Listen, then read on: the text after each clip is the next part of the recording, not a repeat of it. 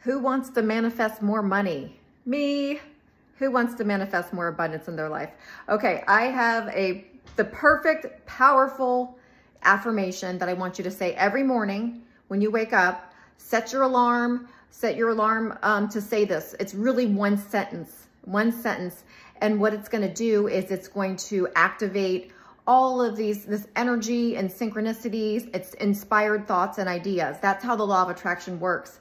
It's not only saying it, when you say it, I want you to feel it and I want you to picture this abundance flowing to you. Are you ready for it?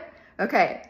It is now and forever my intention to live a fulfilled and prosperous life. It is now and forever my intention to live a fulfilled and prosperous life. Okay, so make sure you start saying that every morning feel it and with all of your senses when as you're saying it. You only need to say it once, but that's how I want you to start your day. And then notice all of the things that flow to you, including ideas and people and synchronicities. Have a beautiful day.